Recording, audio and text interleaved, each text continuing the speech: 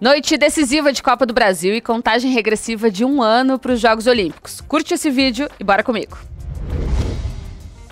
Hoje, às nove e meia da noite, Grêmio e Flamengo se encaram em Porto Alegre, na Arena do Grêmio, no primeiro jogo dessa semifinal de Copa do Brasil. O tricolor deve ter o retorno de Soares e de Vila Sante. Ambos não entraram em campo no final de semana. Já o Flamengo tem como desfalques certos Davi Luiz, Gerson e Eric Pulgar.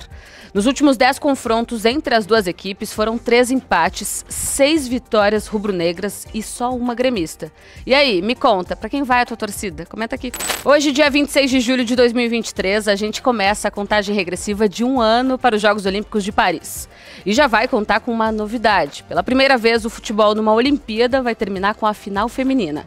Essa edição, que de forma inédita vai atingir a paridade de gênero em termos de números de atletas. Dos 10.500 participantes dos Jogos, serão 5.250 homens e 5.250 mulheres. O Toque Rápido fica por aqui. Essas e outras notícias você confere em placar.com.br. Não esquece de te inscrever no YouTube oficial da Placar e de seguir a gente em todas as redes sociais. Tchau, tchau!